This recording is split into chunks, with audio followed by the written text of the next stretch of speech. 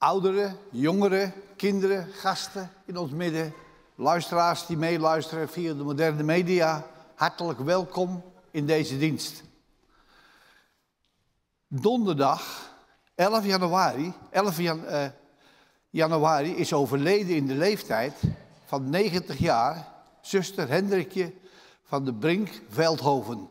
Ze woonde in de Meent, de Grote Beer, in Veenendaal. Op dinsdag 16 januari is er gelegenheid voor de condolatie. En dat is van 19 uur tot 20 uur. En dat is in het rouwcentrum op de begraafplaats de Larikshof in Renen. Op woensdag 17 januari is de afscheidsdienst in hetzelfde gebouw op het kerkhof in, in Renen. In deze dienst gaat voor onze dominee F.W. van der Ree. De schriftlezing is Matthäus 7 van vers 13 tot 29. En het thema van de dienst is twee wegen. Mededelingen van de kerkraad. De fysieke collecte in deze dienst is bestemd voor het jeugdwerk, met name voor de oppas en de toerusting.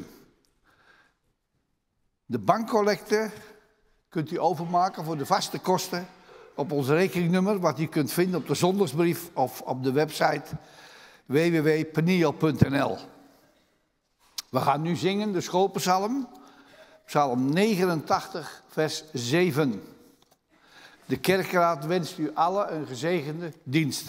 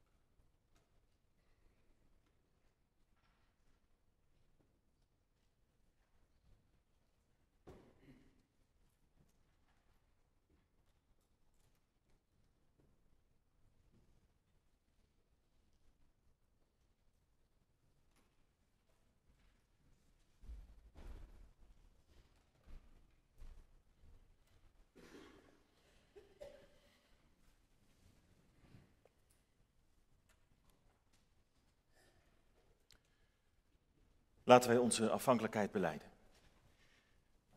Onze hulp is in de naam van de Heere, die de hemel en de aarde heeft geschapen, die trouw is en trouw blijft tot in eeuwigheid en die nooit zal loslaten het werk dat zijn hand begon.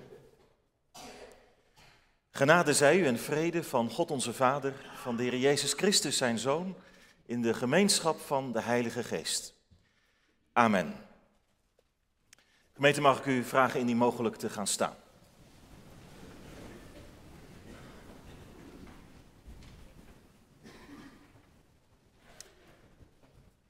Zoals meegedeeld is, afgelopen week overleden vrijdag onze zuster Hendrikje, op donderdag onze zuster Hendrikje van de Brink Veldhuizen. Zij mocht de gezegende leeftijd van 90 jaar bereiken. De laatste jaren verbleef ze in de meent, omdat haar gedachten achteruit gingen. En ze heeft ook een bewogen leven achter de rug, waarin ze veel heeft meegemaakt, waarin er ook voor haar persoonlijk zorgen waren, die tegelijkertijd ook weer door juiste behandeling, onder, uh, door juiste behandeling konden worden bedwongen. Ze had een eenvoudig geloof, waarbij ze in alle eenvoud wist dat de Heer er voor haar was en ze mocht met Hem leven. En daarom willen we met elkaar ook gaan zingen. Een psalm die haar lief was, psalm 84 en daarvan het tweede vers. Zelfs vindt de mussenhuis, o Heer, de zwaluw legt haar jongskens neer in het kunstig nest bij u altaren.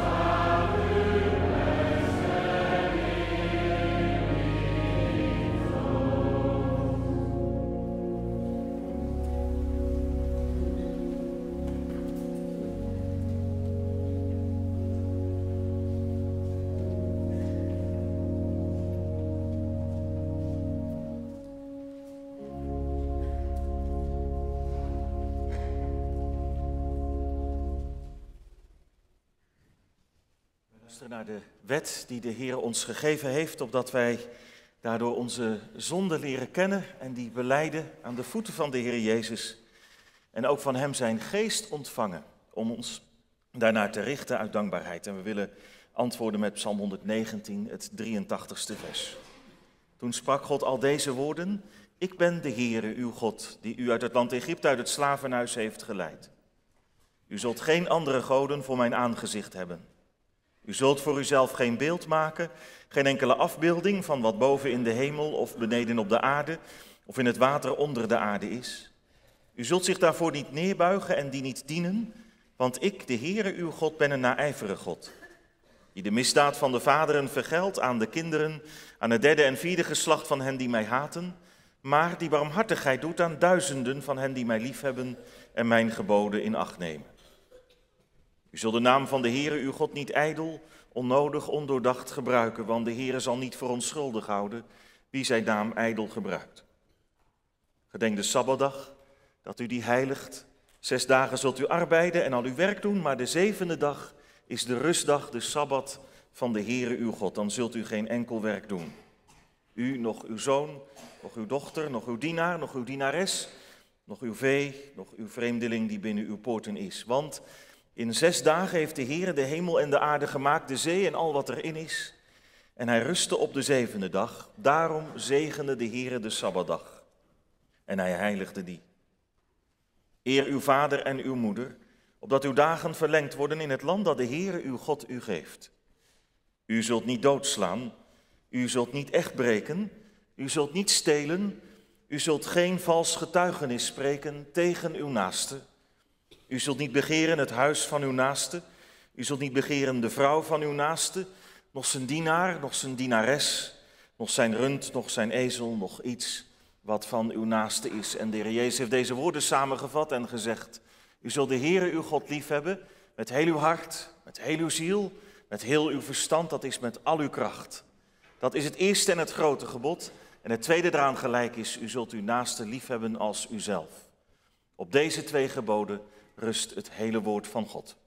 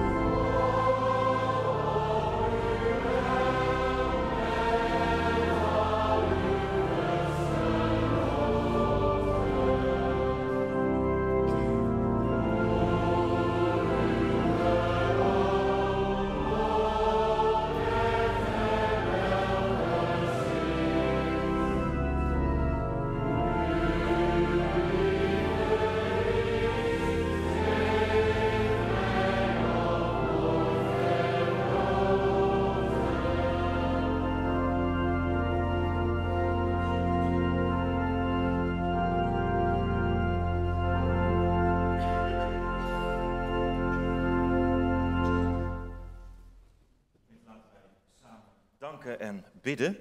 In onze dankzegging willen wij denken aan zuster Atella Boer-Bota van het Verlaat 37, die weer thuis is gekomen na een knieoperatie.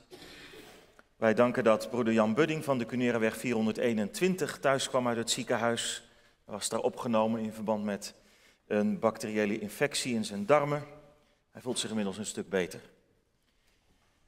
Wij danken dat zuster Joanne Hazelhoff ter stegen van de Dissel 40 weer thuis is gekomen nadat ze eerst nog een tijdje in het 6GV in Ede verbleef.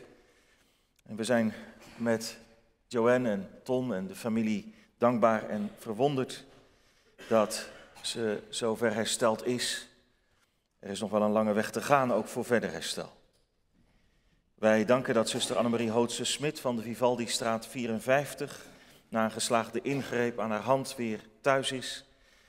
We willen danken voor de geboorte van Siem Robert-Jan, roepnaam Siem, op 10 januari in het gezin van Robert-Jan en Jantine Post van Veldhuizen, Zebravink 21. En het is het broertje van Anniette, Teun en Gijs. We willen onze voorbeelden denken aan de rouwdragende familie van de Brink in verband met het overlijden van onze zuster van de Brink Veldhuizen. Wij bidden voor zuster Klumpen naar de graaf van de Dichterslaan 167. Ze zal aanstaande woensdag 17 januari een nieuwe heup krijgen in het ZGV. Wij bidden voor onze broeder Aris Versteeg van de Middelbuurtse weg 9. Hij moest in het ziekenhuis worden opgenomen vanwege ernstige benauwdheid. Het bleek een zeer zware aanval van COPD te zijn. Medicatie slaat nu goed aan en hij is inmiddels weer thuis. Wij willen samen ook bidden voor de rouwdragende familie van Hussam, bezoeker van de poster die in de afgelopen week plotseling is overleden in de leeftijd van 49 jaar door een hartstilstand. En wij willen ook bidden voor onze zuster Annie de Kruijf van de Scheepjeshof 37. Afgelopen vrijdag is haar zus geheel onverwacht overleden. Zij is 83 jaar geworden. Laten wij met elkaar bidden en danken. Heere, getrouwe God en Vader in de hemel. We hebben zojuist gezongen dat wie uw wet liefhebben, diepe vrede zullen kennen. Heren, we danken u dat u vanmorgen naar ons toe komt met uw woord en met uw wet. En dat u, Heer Jezus, ons verzamelt als uw leerlingen en discipelen om rondom u, uw woord, te, ons te scharen en bijeen te zijn. Heren, toen u naar deze aarde kwam, toen was u op zoek naar de mensen. U deed dat gezonden door uw vader om uit het hele menselijke geslacht u een volk te verzamelen, een kerk die zalig wordt.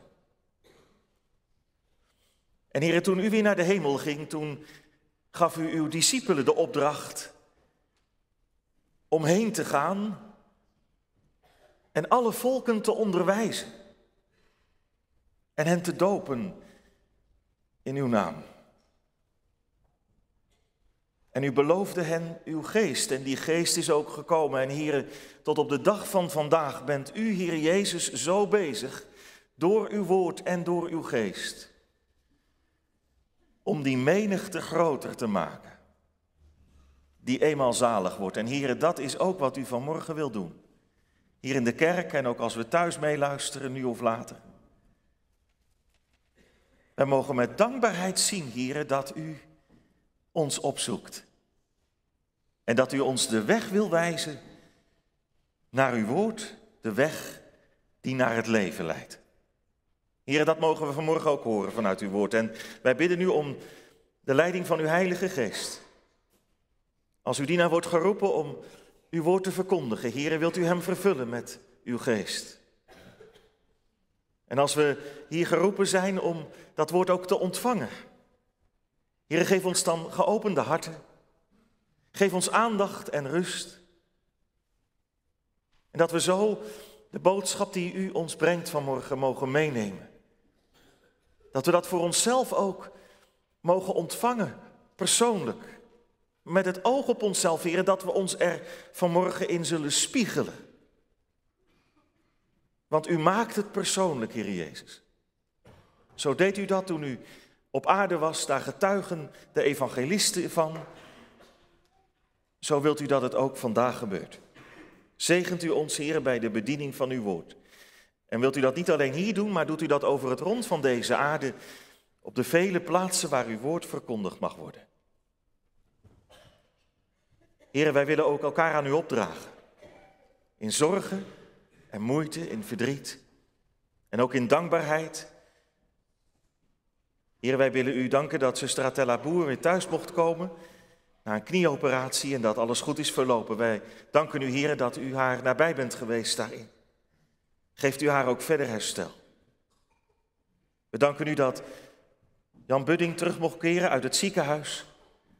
We danken u, Heer, voor de medicatie die aan is geslagen en die u gezegend hebt. Hij voelt zich weer beter. Heer, wilt u geven dat dat herstel zich ook mag doorzetten. Wij danken u, Heer, dat zuster Joanne Hazelhoff weer thuis is uit het ziekenhuis. Na alles wat haar is overkomen. Heer, we zijn dankbaar voor de wonderen die u doet en gedaan hebt. En wilt u geven, heren, dat ze ook verder mag herstellen. Geef haar veel rust. En dat de hersenen zich mogen herstellen, heren. Daar willen wij u om bidden. En geef dat ook degenen die hierbij betrokken zijn en zijn geweest, ook in het ziekenhuis, ook uw wonderdaden mogen opmerken. Heren, wij willen u danken dat zuster Hootse weer thuis is. Annemarie moest een ingreep aan haar hand ondergaan en u heeft alles goed gemaakt en daar danken wij u voor. Wij danken u, heren, dat Robert-Jan en Jantine Post opnieuw ouders mochten worden. Heren, wij danken u voor de geboorte van Siem. Wilt u de ouders geven wat nodig is in de opvoeding van hun kinderen? En Heer, geeft dat ook Siem u mag leren kennen in zijn leven en mag leren liefhebben. Heer, wij willen u bidden voor de rouwdragende familie van de Brink. Verschillende families die in onze gemeente het verdriet voelen om haar heen gaan. Heren, ze mochten een hoge leeftijd bereiken. En wij danken u voor het vele dat u in haar hebt geschonken aan zoveel. In haar vriendelijkheid, in haar rust, in haar betrokkenheid op kinderen en kleinkinderen. En heren, nu moeten we afscheid gaan nemen en aanstaande woensdag zal de rouwdienst er zijn. Wij willen u bidden, heren, of u wilt troosten in het verdriet, zoals u dat kunt. U kunt troosten met een troost die niet van deze aarde is, maar die hemels is. Want heren, ook van haar mogen we afscheid nemen in het licht van uw evangelie. Uw evangelie dat ons zegt dat, dat wie in u gelooft niet sterven zal, voor eeuwig niet. Heren, we willen u bidden of u zo ook krachten wil geven als aanstaande woensdag de begrafenis zal plaatsvinden. Wij willen u bidden, heren, voor zuster Klumpen naar de graaf. Als ze aanstaande woensdag een operatie moet ondergaan aan haar heup. Heren, gaat u mee en wilt u de handen van de doktoren zegenen? Geeft dat het zo mag zijn, heren, dat de klachten die ze heeft kunnen worden verholpen. En geef haar rust en vertrouwen op u. Wij bidden u voor broeder Aris Versteeg. Heren, wilt u bij hem zijn? We danken u dat hij weer thuis mocht keren uit het ziekenhuis. Maar wilt u de medicatie ook zegenen die hij tot zich moet nemen? Geef dat hij weer nieuwe krachten mag ontvangen van u. Heren, wij bidden u voor zuster Annie de Kruif. Nu ze afgelopen vrijdag moest horen dat haar zus zo heel plotseling is overleden. Zo kort na het overlijden van haar man, Willem. Wij bidden u, heren, of u wilt troosten in het verdriet dat dit geeft. In oud verdriet en nieuw verdriet. En heren, wilt u er ook bij zijn? Als de begrafenis zal plaatsvinden, gaat u mee?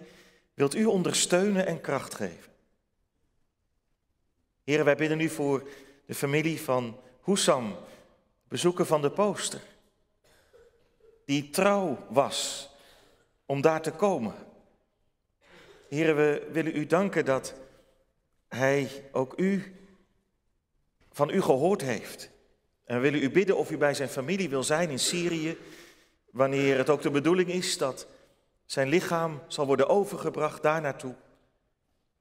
Wees u ook met de bezoekers van de poster met wie hij verbonden was geraakt. Wilt u troost geven bij u vandaan? Heren, wij willen bidden voor het Penielkoor. We willen u danken, heren, voor datgene wat zij mogen betekenen in en rondom de gemeente, in het zingen van de lof van uw naam. En wanneer we ook worden uitgenodigd om daaraan deel te nemen, heren, wilt u geven dat we dat ook mogen overwegen. Om zo uw naam groot te maken, ook op die manier, als u ons daarvoor de gaven gaf. Heren, wij bidden u of u ons een gezegende dienst wil geven. Wilt u ieder die een taak heeft geven wat nodig is in en rondom deze dienst. En hoor naar ons gebed in de naam van Jezus Christus uit genade. Amen.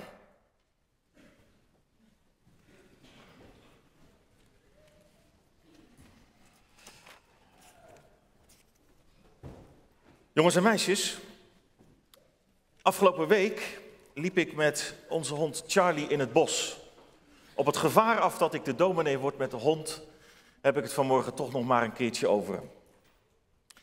Want ik moest eraan denken toen ik bezig was met de preek van vanmorgen. Ik liep met Charlie in het bos, in een stuk bos waar de honden los mogen lopen. En dat zag er ongeveer zo uit, het is niet precies de foto, maar, maar zo'n bos wat een beetje dicht begroeid is. Hier is het natuurlijk zomer, alles is groen. Nu zijn de bomen kaal. Maar je ziet een duidelijk pad, daar loop je overheen. En vaak gaat het dan zo dat Charlie een stukje vooruit loopt en dan blijft hij wat snuffelen en dan haal ik hem weer in en dan hoor ik hem op een gegeven moment weer komen rennen en dan haalt hij mij weer in. Maar hij blijft altijd wel zo op het pad tot afgelopen week. We liepen weer het vaste rondje, want we hebben daar een vast rondje in het bos. En toen opeens, toen rende hij zomaar een klein paadje in. Daar gingen we nooit heen. En hij rende zo een heel ander stuk van het bos in. Nou ja, gebeurt wel eens vaker dat hij zoiets doet, maar dan roep ik hem en dan komt hij meteen weer terug. Maar dit keer niet. Hij was weg. En ik ging kijken op dat pad. Nergens te bekennen. En ik was een tijdje aan het zoeken en ik werd wat ongerust. Waar zou die nou zijn? En toen kwam ik iemand tegen en ik vroeg, heeft u een bruine hond gezien? Ja, die had ze gezien. Aan het begin van het bos. Nou, ik was opgelucht. En inderdaad, daar was Charlie. En die hond leek zich geen zorgen te hebben gemaakt. Die had alleen maar een ander pad genomen, een klein zijpaadje. Dat was die gaan volgen. En toen had hij de weg gevonden. Naar het begin van het bos, waar de auto stond. En daar stond hij keurig te wachten. Jongens en meisjes, we gaan in de Bijbel een stukje lezen waarin de Heer Jezus het ook heeft over twee wegen. En die ene weg, dat is eigenlijk wel zo'n bospad waar iedereen overheen loopt. Wat je heel duidelijk kunt zien, raak je elkaar niet kwijt. Maar het andere weggetje is een heel smal paadje. Een smalle weg. Waar je eigenlijk nooit aan zou denken om het in te slaan. Je moet het maar net vinden. Is het niet veel beter om op het grote pad te blijven? Dan weet je de weg. Nou, de Heer Jezus zegt vanmorgen tegen ons, dat kleine paadje, dat moet je nou juist wel in. Want dat is de toegang tot mijn koninkrijk. Je moet het vinden en het inslaan. Dan word je behouden. Het brede pad brengt je naar het verderf. Dan ga je verloren. Dat is de hel. Maar het smalle pad brengt je naar de hemel, naar mijn hemels koninkrijk. Geloof in mij en dien mij met je hele hart. Dan loop je over de smalle weg.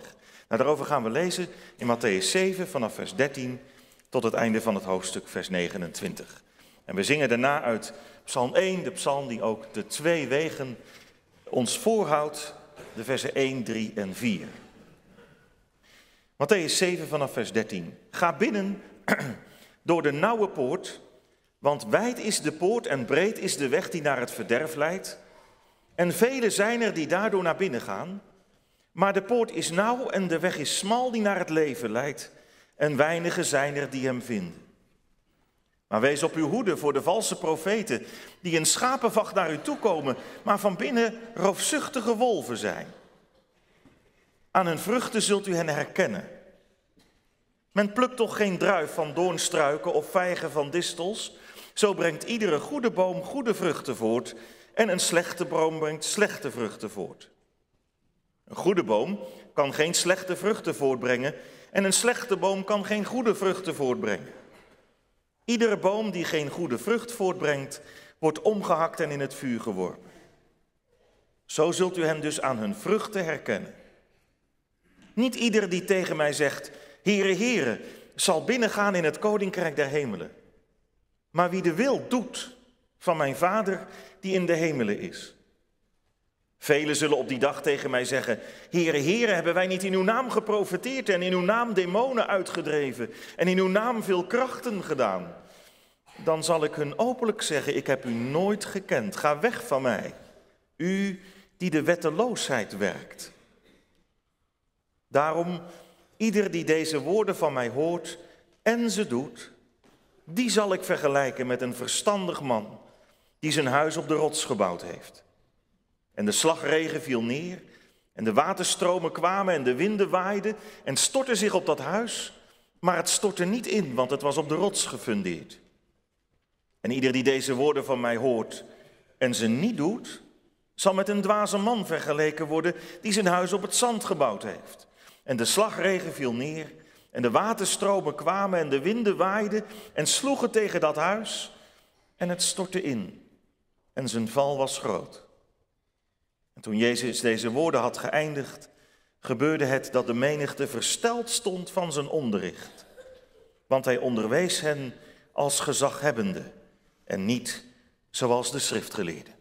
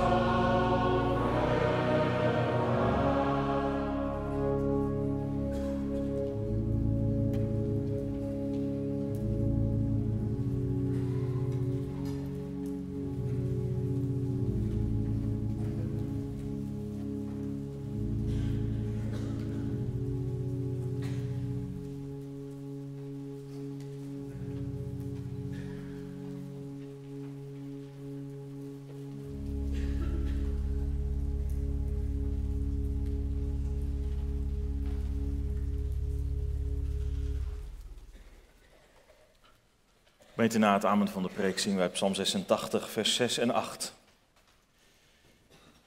Wij staan stil bij Matthäus 7, vers 13 en 14, waar Jezus ons zegt, ga binnen door de nauwe poort, want wijd is de poort en breed is de weg die naar het verderf leidt en vele zijn er die daardoor naar binnen gaan, maar de poort is nauw en de weg is smal die naar het leven leidt en weinigen zijn er die hem vinden. Thema voor de preek is twee wegen. We letten op hun karakter, hun populariteit en hun bestemming. Weet wat neemt u doorgaans mee van de preken als je hier op zondag een kerkdienst hebt meegemaakt? Wat blijft er van hangen? Van wat een dominee in de preek naar voren heeft gebracht en wat je hebt meegekregen. Eigenlijk is het toch iets bijzonders, spreken. Goed, u bent dat misschien zo gewend, al van jongs af aan, dan denk je er niet meer zo over na, maar voor een buitenstaander kan dat iets, iets wonderlijks zijn. Dat je met z'n allen naar een kerkgebouw gaat en dat een dominee dan alle ruimte krijgt om te preken. 20, 30, 40 minuten. En u luistert allemaal, zo goed en zo kwaad als dat dat dan gaat. Soms hoor je wel eens geluiden dat er gezegd wordt, ja, kan dat niet een beetje anders? Dat is toch eigenlijk niet meer zo van deze tijd, zo, zo'n lange toespraak. Moet dat niet wat meer interactief of zo, dat je als gemeentelid ook iets hebt in te brengen? Zo lang luisteren is niet eenvoudig. Wat heb je daar eigenlijk aan? Wat neem je mee? Maar gemeente, een grote groep mensen die die samen zijn gekomen om te luisteren naar de verkondiging van het woord van God. Ja, dat komen we ook tegen in Matthäus 7. In Matthäus 7 zien we Jezus aan de oever van het meer van Galilea. En om hem heen zitten zijn discipelen, maar daaromheen ook een, een grote menigte mensen. Het zullen er inmiddels wel duizenden zijn geweest die hem hebben opgezocht. En Jezus gaat preken. Matthäus 5 tot en met 7, dat noemen we de zogenaamde bergreden, de reden, de preek, kun je gerust zeggen, waarin Jezus zijn discipelen onderwijs geeft over het koninkrijk van God. En in een Matthäus-evangelie staat dat helemaal aan het begin en dat is niet voor niks. Want nu Jezus gekomen is, nu hij is opgegroeid en, en een volwassen man is geworden van 30 jaar, nu treedt hij op in de openbaarheid. En schrijft Marcus, hij preekt het evangelie van het koninkrijk van God. De tijd is vervuld. Het koninkrijk van God is nabijgekomen. Bekeer u en geloof het evangelie. Met de Heer Jezus is, is uit de hemel naar de aarde gekomen, te midden van al die rijken die er op deze wereld zijn, al die heerschappijen. En hij is gekomen om dit te doen. Om zijn rijk te, zijn rijk te stichten. Godsrijk. Om zich uit de wereld een volk te verzamelen. Een volk met een koning, dat is hij. Een kerk die tot bewoners van het nieuwe koninkrijk gemaakt worden. En dat rijk is niet van deze wereld, dat is het koninkrijk der hemelen. Maar wat dat nou precies inhoudt, gemeente, dat, daarover gaat het in die bergreden. Jezus maakt duidelijk wat, wat dat nou is. Burger zijn van dat koninkrijk. Christen zijn. Volgeling, discipel zijn van Hem. En dan heeft Jezus het eerst over het karakter van die burgers van dat koninkrijk gehad. Wat zijn dat voor mensen? En wat ontvangen ze in dat koninkrijk? Nou, daarover gaat het in Matthäus 5, vers 1 tot en met 12. Een ware christen, die is arm van geest, zegt Jezus. Zalig zijn de armen van geest, want van hen is het koninkrijk der hemelen. Daar heb je het. En zalig ben je als je treurt, want in Gods koninkrijk word je getroost. Zalig de zachtmoedigen. Zalig degene die hongeren en dorsten naar gerechtigheid. Zalig de barmhartigen, de reinen van hart, de vredestichters. Ja, gemeente, als je, als je zo in de wereld bent, als discipel van de Heer Jezus, dan moet je rekenen met vervolging. Zalig zijn zij die vervolgd worden, zegt Jezus, om de gerechtigheid. Want van hen is het koninkrijk der hemelen. Je zult te maken hebben met smaad. En er zal kwaad over je gesproken worden. Maar Jezus zegt: verblijd en verheug je. Je loon is groot in de hemelen. Gemeente, zo tekent Jezus ons hoe rijk gezegend je bent en zult zijn in zijn koninkrijk. Zalig. En in het tweede gedeelte vanaf hoofdstuk 5, vers 13 gaat Jezus dat dan heel praktisch toepassen. Want gemeente christen zijn, dat is niet vaag.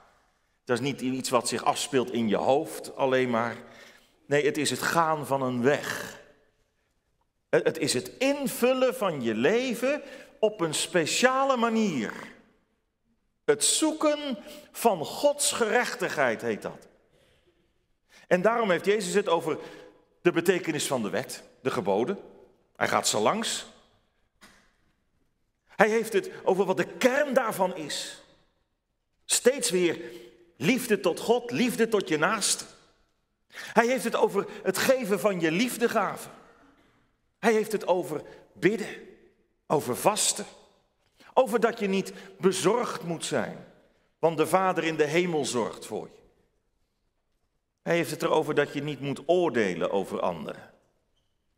En dat je ervan op aan kunt dat je gebed wordt verhoord als je bidt in zijn naam. En dan komt Jezus bij het derde deel van zijn preek. Het derde punt. Dat is het gedeelte wat we net gelezen hebben. En dan, dan gemeente gaat hij het verder toepassen. Wat moeten zijn hoorders nou meenemen als ze straks weer weggaan? Jezus die, die laat het niet alleen maar bij punt 1, het karakter van een christen, of punt 2, wat dat in de praktijk van je leven betekent. En, en dan zegt hij amen en dan gaan de mensen naar huis. Hoe zou je dan naar huis gaan als, als dat het was? Dan zou je kunnen zeggen, ja, interessant, boeiend, we hebben mooie dingen gehoord. Misschien ook moeilijke dingen. En je beschouwt onder de koffie nog wat na.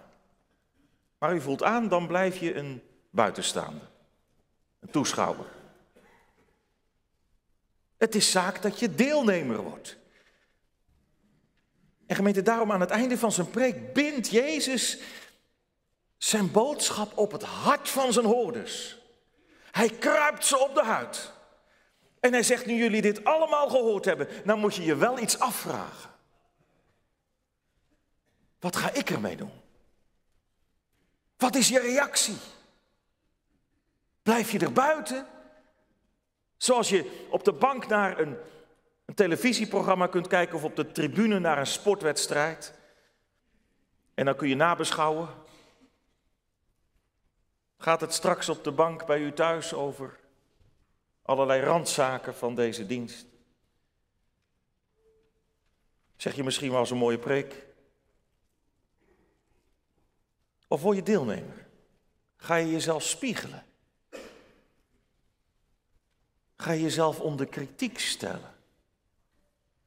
Hoe zit het nou eigenlijk met mij? Jezus zegt het is het een of het ander. Er zijn maar twee wegen. Twee manieren. Of je gaat leven op de manier zoals ik zojuist heb verkondigd. Of je doet dat niet en je gaat verder zoals het was. Wat doe je? De gemeente, dat is de vraag. En eigenlijk is het, voor, is het niet eens een vraag die Jezus ons stelt. het is eerder een uitnodiging, een aansporing. Ja, je kunt het zelfs horen als een bevel. Ga binnen door de nauwe poort, zegt Jezus. Blijf niet op de hoofdweg. Dat lijkt het te zijn, de hoofdweg, het hoofdpad. Jezus zegt ook, er zijn, zijn velen die die wijde poort en die brede weg nemen en maar weinigen die die nauwe poort en de smalle weg vinden. Maar toch is dat nou juist de poort die je hebben moet. Ga binnen door de nauwe poort. Daar moet je zijn. Gemeente, waarom stelt Jezus de ingang van zijn koninkrijk nou zo voor? Waarom heeft hij het niet gewoon over twee wegen? Dat kan ook. Alsof je op een splitsing staat en je kunt kiezen, neem je links of rechts. Kijk gemeente, dat is wel waar Jezus ons toe wil brengen. Wij worden gedrongen om een keuze te maken.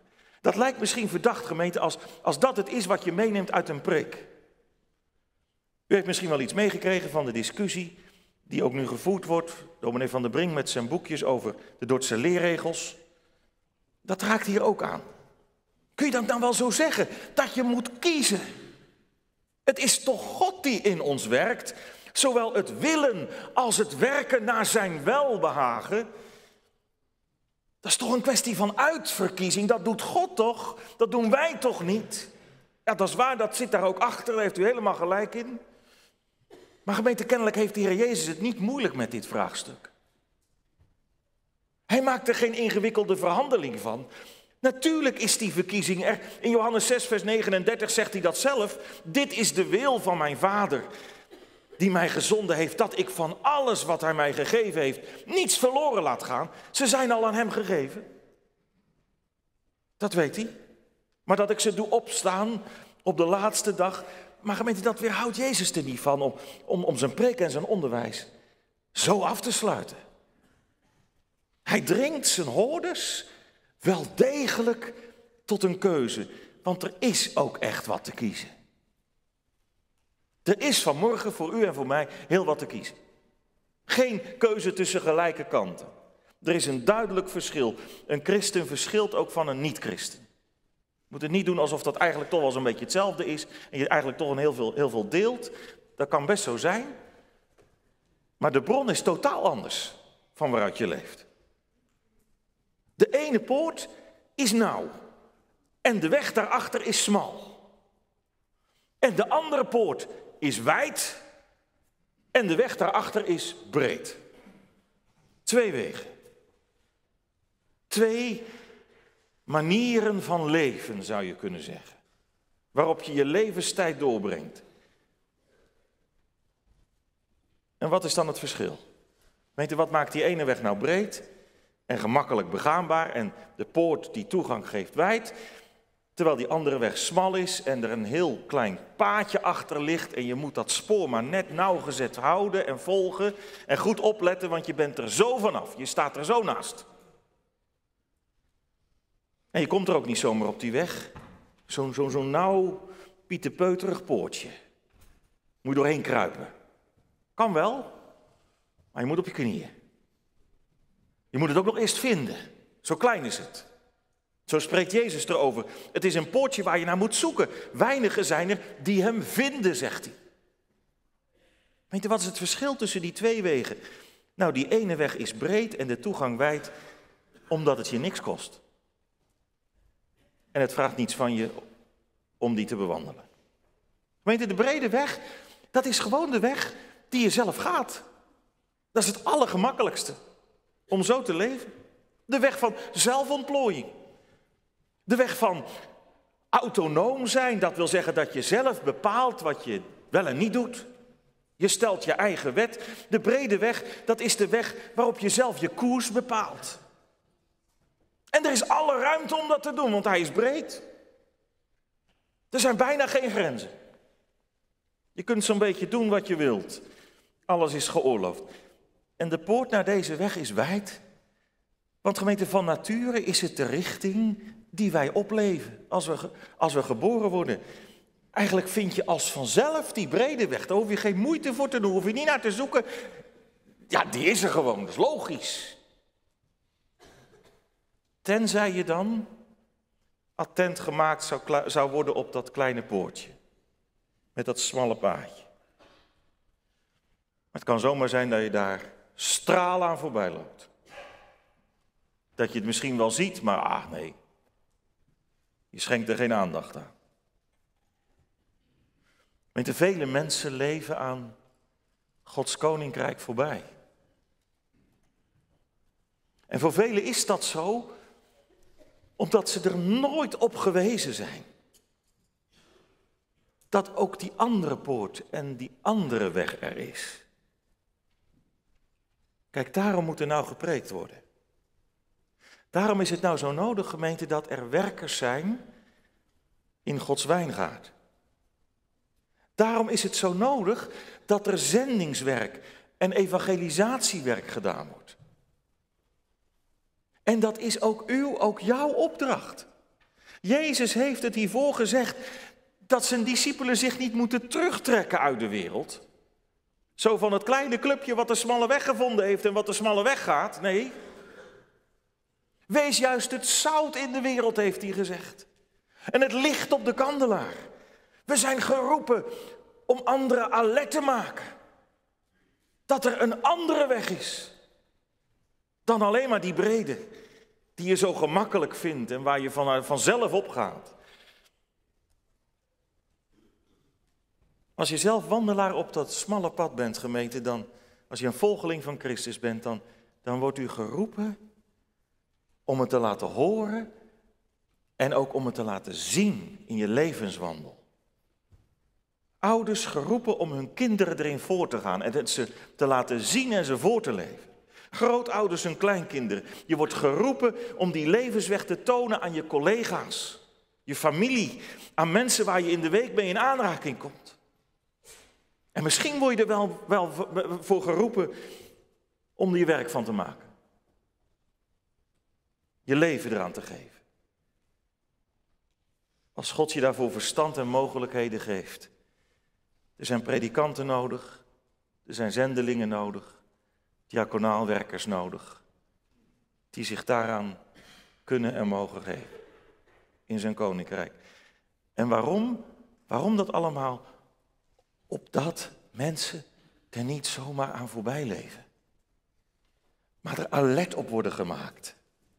Een nauwe poort en een smalle weg. Gemeente, dat die brede weg de enige is, dat is wel wat mensen vaak denken. Zoals ik zei, wandelen op die brede weg, dat vraagt niets van je. Daar hoef je niks voor op te geven. En je hoeft geen rekening te houden met wat Jezus hiervoor heeft gezegd. Met de normen die hij ons stelt. Want dat doet Jezus. Christen zijn gemeente, dat, dat is niet alleen zeggen dat je christen bent, maar dat, dat is een, een weggaan. En Jezus heeft het erover gehad. Kijk, op die brede weg kun je gewoon trots zijn.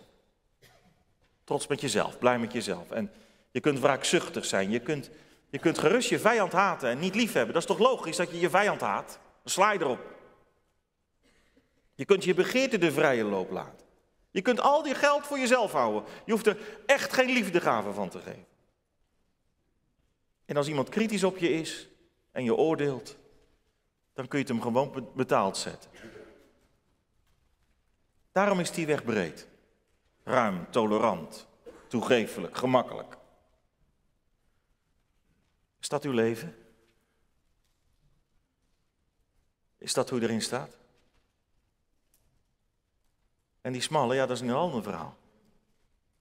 Smal betekent zoiets als beperkt, begrensd. Weet je, dat is een, een afgebakende weg. Die is al voor je gebaand, die tekent Jezus ons uit. Die is die zelf ook gegaan. Kun je de evangelie op nalezen. Jezus zegt, dit is de weg. Die moet je gaan. Doe je dat niet, dan, dan zie je er zo naast. Het is een heel bepaalde weg. Het is een, weg van, een weg van gebed, van vasten. Er is geen plaats voor begeerte, voor wraak, voor haat. Het is een weg van jezelf geven voor de dienst aan de Heer en voor het heil van je naaste. Het is een weg van reinheid, van eerlijkheid, een weg waarop je weet van vergeving. Hoe kom je op die weg? Nou ja, dan moet je door dat nauwe poortje. Dat is het poortje gemeente van zelfverloochening. Die nauwe poort kun je vergelijken met zo'n draaideur bij het begin van een warenhuis. Ze hebben er ook eentje hier bij het zwembad, jongens en meisjes. Zo'n ronde draaideur, je weet wel. En daar moet je dan instappen en Ja, je kan er eigenlijk alleen maar in je eentje in, want als iemand anders achter je aanstapt, dan, dan, dan is het onderweg vaak te krap. Stel je voor dat je zo'n draaideur in zou stappen en je hebt een grote rugzak op je rug. Dan past het niet. Op de smalle weg kom je door jezelf te verloochenen. De brede weg is de weg van zelfontplooiing, de smalle weg is de weg van zelfverloochening. Jezelf, je ik, moet sterven. Zo kom je op het smalle pad. Als je bukt. Als je op je knieën gaat. Als je jezelf gewonnen geeft. Als je zelf kleiner wordt. Als je jezelf overgeeft. En in dienst komt van koning Christus. Jongelui, dat is de kern van christen zijn. En christen worden. In plaats van dat jij zelf bepaalt wat je doet en wil doen. En dat ook opvolgt. Doet iemand anders dat voor jou. Je leven is niet meer van jezelf, maar dat is van iemand anders. Van wie nou? Van, van Jezus. Zijn woord, de Bijbel, die heeft dan gezag. En dan zegt Jezus, bid. Doe je dat niet? Bid je niet? Bewandel je dan wel de smalle weg? Jezus zegt, geef liefdegaven. Straks collecten. Doe je dat niet? Jezus zegt, wees niet bezorgd, vertrouw op mij. En wij zijn zo bezig met onze zorgen en met wat allemaal gebeuren moet waarvoor we moeten zorgen. Gemeente, wat, wat is het als, als je nu vanmorgen ontdekt, maar er zijn zoveel dingen ja, waar ik niet aan voldoe, wat Jezus vraagt. Betekent dat dat je op de brede weg wandelt? Of zoek je wel die smalle weg, maar je voelt, het is alsof je voeten zomaar weer ernaast willen gaan lopen. Eh, dan moet je weer terug. Gemeente, christen zijn betekent Jezus onderwijs niet alleen maar horen en niet alleen maar hier op zondag naar de kerk komen en dan ga je weer verder, maar het ook doen in praktijk brengen. En je zou kunnen denken, is dat nou niet een beetje al te smal allemaal? Kan dat wel? Om te leven zoals Jezus het van ons vraagt. Dat is toch enorm moeilijk. En helemaal als je dan op de koop toe ook nog eens te maken krijgt, en Jezus zegt het ronduit, met vervolging, met smaad, verdrukking, is het wel aantrekkelijk om die weg in te slaan. Als het je zoveel kost, ja, dan kom ik bij het tweede, de populariteit van die wegen. Jezus die houdt ons niet alleen voor dat er twee wegen zijn, er zijn ook twee groepen mensen. Je hebt de velen die de brede weg bewandelen en de weinigen die de nauwe poort hebben gevonden en de smalle weg. En gemeente, nou kan het feit dat zoveel mensen de brede weg lopen, op de brede weg lopen, je een vals gevoel van zekerheid geven. Zo van, zouden al die mensen het nou bij het verkeerde eind hebben? Kan toch niet?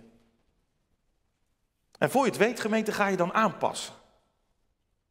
Dan, dan, dan gaat de kerk zich aanpassen aan de normen van de wereld.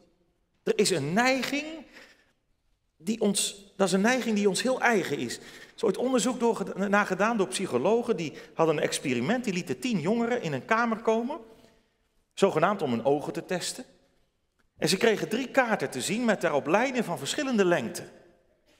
En die jongeren die moesten hun hand opsteken als ze de kaart met de langste lijn, als die omhoog gehouden werd. En een van die jongeren wist niet dat de andere negen vooraf de opdracht hadden gekregen om de middelste lijn te kiezen. Dus niet de langste. En te doen alsof dat de langste zou zijn. En toen die negen allemaal hun hand opstaken terwijl de niet de langste, maar de middelste werd, werd opgestoken, de middelste lijn. Toen stak die tiende ook zijn hand op. hoewel het duidelijk was dat ze zich vergisten. Maar hij ging mee met de groep. Weet uit dat onderzoek, is een veel breder onderzoek, is gebleken dat, dat maar liefst 75% van de deelnemers dat deed. Weet het vraagt wat om de smalle weg te gaan.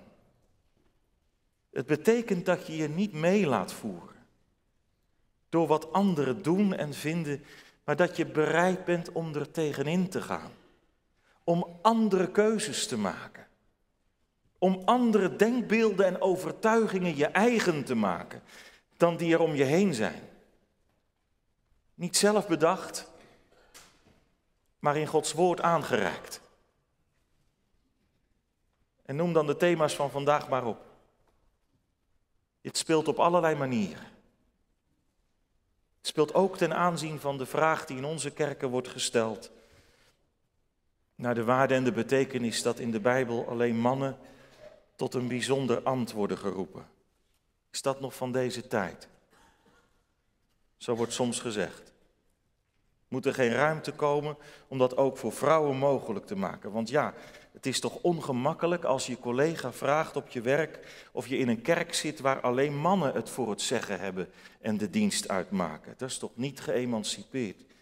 Weet, ik zeg niet dat dat het argument is, alleen maar. Maar dat hoor je ook. En achter zo'n manier van denken en zeggen, en daar schuilen aannames, heel wat aannames, ik ga daar nou verder niet op in. Maar ook hier geldt, ben je bereid, als dat gevraagd wordt, om tegen de stroom in te gaan? Ook als het betekent dat die overtuigingen niet passen bij het schema van de wereld. En als het je inderdaad op hoon en smaad en verontwaardiging van de wereld komt te staan. Waar Jezus al voor gewaarschuwd had, maar hij heeft je dan ook zalig gesproken. Zalig bent u, als men u smaadt en vervolgt. Laat je niet bedriegen door de meerderheid van stemmen. Jezus stelt de velen op de brede weg tegenover de weinigen op de smalle weg. En, en nou zijn het er in de praktijk helemaal niet zo weinig. Hè? Weet bij de wederkomst zal blijken dat het een menigte is die niemand tellen kan. En er zijn op de wereld vandaag de dag zo'n 2,4 miljard christenen. 2,4 miljard. En zeker, daar zullen ook mensen bij zijn die als christen ingeschreven staan, maar daar niet bij leven. Maar dan nog blijven er vele miljoenen over. Die de smalle weg gaan. Je hoeft je dus niet alleen te voelen. Ook al kan in de praktijk dat zo zijn op je werk, in je familie, in je buurt, dat je de enige christen bent. De enige bij wie het wat mag kosten. De enige die op zondag vroeg zijn bed uitkwam en zijn schoenen had aangetrekt om naar een kerk te gaan. De enige die het opneemt voor christelijke waarden en normen.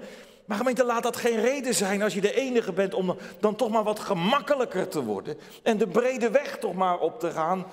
Nee, laat het reden zijn om nou juist anderen aan te sporen. En het hen te laten zien hoe goed het is om met jou mee te gaan. Om ook door die nauwe poort te gaan. En de smalle weg te bewandelen. Want wat moet je dan doen? Weet je, hoe kom je er binnen? Er is maar één weg. Waarlangs je naar binnen kunt gaan, één poort. Berouw en geloof. De rugzak van je zonde bij het begin afgeven aan Jezus. De rugzak waar het allemaal in zit. Je ongeloof, je bedenkingen, je liefdeloosheid, je eigen wijsheid, je verlangens, je eigen verlangens en je eigen ego. En Jezus die neemt het van je over. En die neemt het op zijn rug. Die is eraan gestorven, gemeente. Aan al die dingen. En hij verlost je ervan. Kijk, het kan lijken alsof je op die brede weg echt vrij bent. Die smalle weg is beperkend. En dan ben je toch niet vrij? Maar dat is maar schijn. Jezus zegt in Johannes 8, ieder die de zonde doet, is een slaaf van de zonde. En in Jezaja 48 staat, voor de goddeloze is er geen vrede, zegt de Heer. Wie echter die smalle weg gaat, die kent nou juist wel vrede. Want je hoeft die rugzak niet meer te sjouwen. Zoals we zojuist zongen, wat vrede heeft elk die uw wet bemint. Ze zullen aan geen hinderpaal zich stoten. Juist de weg van zelfverloochening is verlossend en bevrijdend. Maar ja, dat gaat wel gepaard met aanvechting en strijd. Het gaat tegen jezelf in. En daarom zegt Jezus, het zijn er weinigen die hem vinden en ook gaan. Gemeente, is het aantrekkelijk om de smalle weg te gaan? Misschien kent u die plaat, hij hangt vast ook nog wel bij velen van ons ergens. De brede en de smalle weg. En als je dan die plaat gaat bekijken, zie je allemaal tekeningetjes. Als je, als je het zou samenvatten, dan zie je dat de wandelaars op de brede weg een hele hoop plezier maken. En op de smalle weg is eigenlijk geen plezier. Weet, als dat de indruk is die zo'n plaat achterlaat, dan, dan zou u hem misschien maar weg moeten doen. Want op de smalle weg is er wel degelijk vrolijkheid en plezier. Ja, wel van een andere orde dan op de brede weg. Geen plezier in zonde en zondige praktijk, maar wel plezier in God en in Christus. Want je hoeft die weg niet alleen te gaan. Het zou veel te moeilijk zijn, maar er is iemand die je voorgaat. De Heer Jezus zelf. Hij leidt je en hij geeft je zijn geest om het vol te kunnen houden. Hij zegt, neem mijn juk op u.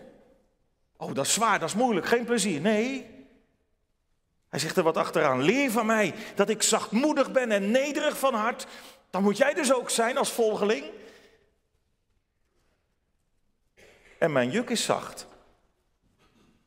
En mijn last is licht. Weet als je achter hem aangaat, dan is die smalle weg geen straf. Nee, het verlost je juist. Het brengt je juist bij wat nu echt leven is. Het verlost je van Gods eeuwige straf. En het brengt je bij het eeuwige leven. Want dat is tenslotte het derde, hun bestemming. Die twee wegen hebben allebei een andere bestemming. De brede weg leidt naar het verderf en de smalle weg die leidt ten leven. Je weet, ooit reed er een jonge autobestuurder met zijn sportwagen op een weg bij de zee. En overal langs die weg stonden waarschuwingsborden. Deze weg is nog niet klaar. Je mag hier nog niet rijden. Maar die jongen die, die zag dat, dat nieuwe asfalt en die dacht, ah, toch even rijden hoor, want dat is heerlijk. Nieuw asfalt, sportauto. En hij reed die weg op en hij bleef erop rijden. En hij dacht, nou ja, die borden die zijn er zeker nog per ongeluk. Het is een heerlijke weg om op te rijden. En hij drukte het gaspedaal flink in met hoge snelheid. Tot hij een bocht moest maken. En daar hield de weg opeens op. En hij vloog over de klippen en vond de dood. Jezus waarschuwt u vanmorgen. Op welke weg loopt u? De brede weg, lijkt zo makkelijk, zo vanzelfsprekend. Hoe leeft u? Die brede weg gaat op het verderf aan. De eeuwige duisternis en dood. Als je gaat voor jezelf en voor je zelfontplooiing. Als je leeft voor eigen rekening en je gaat je eigen idealen achterna. Dan loopt het straks letterlijk dood. Trots, boosheid, begeerte, haat, hebzucht. Onwil om te vergeven. Egoïsme, al het andere gemeente. Het vernietigt je. Maar vanmorgen zet Jezus een waarschuwingsbord. Bij de brede weg. Die niet opgaan. En als je erop zit, keer om. Keer terug, bekeer je. Ga in door de nauwe poort. Want alleen die smalle weg leidt ten leven. Weet hoe weet je? op welke weg je je bevindt. In het vervolg van Matthäus 7 geeft Jezus u een zelftest in handen. Welke vruchten zijn er? Een goede boom brengt goede vruchten voort. Slechte boom slechte vruchten. Wat is er in je leven? Oh nee, je levensboom zal vast wel niet helemaal vol hangen met vruchten. Er kan vast nog meer bij. Gaandeweg leer je het smalle pad te houden en niet links of rechts uit te wijken. Die misstappen zullen er steeds weer zijn. Maar gemeente, als je nou maar hebt geleerd om dan te knielen, schuld te beleiden en weer in geloof achter Jezus aan te gaan, dan hou je koers. Dan ben je koersvast en dan draag je vrucht en meer vrucht. In Jezus is de deur naar het hemelskoninkrijk geopend. Want hij is gekomen om ook u en jou te redden van het verderf. En hij wijst je vanmorgen de weg. Ga je binnen? Volg je de weg ten leven? Met heel je hart. Laten we het bidden zingen. Leer mij naar uw wil te handelen. Ik zal dan in uw waarheid wandelen. Neig mijn hart en voeg het samen tot de vrees van uw naam. Amen.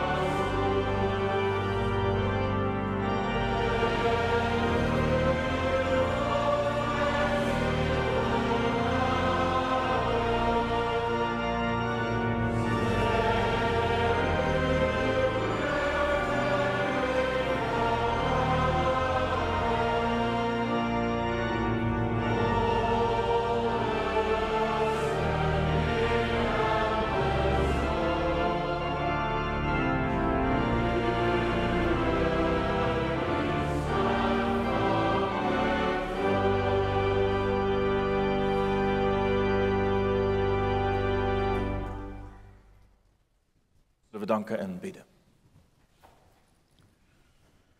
Heren, wij komen aan het einde van deze dienst tot u. Om u, Heer Jezus, te danken voor uw onderwijs. Dat mocht centraal staan. Zo heeft u het ook bedoeld. Want het is een nauwe poort en een smalle weg waar u ons op wijst. Weinigen zijn er die hem vinden. Ja, er zijn er wel. En Heer, u had vanmorgen ons op het oog om hem te vinden. En om hem te gaan, om hem ook weer opnieuw te vinden en te gaan. Om onze voeten te zetten op dat smalle pad achter u aan, Heer Jezus. U heeft het zelf gebaand. En u zult ons leiden. En langs dat pad brengt u ons thuis in uw heerlijkheid. Heere, geef dat als we straks naar huis gaan, we onszelf de vraag stellen, waar bevind ik mij? Moet ik terug? Moet ik voor het eerst door dat nauwe poortje? En heren, dan weet u wat er allemaal in ons hart daartegen kan strijden.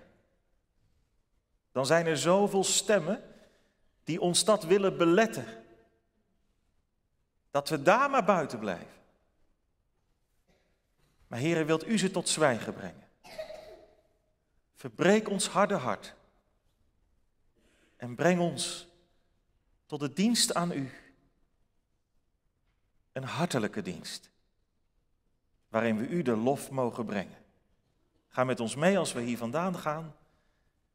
En geef, heren, dat we goede zondag uit uw hand mogen ontvangen. Brengt u ons ook vanmiddag als gemeente hier weer samen. Hoor zo naar onze gebed. In de naam van Jezus Christus. Uit genade. Amen. U krijgt gelegenheid om uw gaven te geven. En wij zingen tot slot uit Psalm 108 het eerste vers.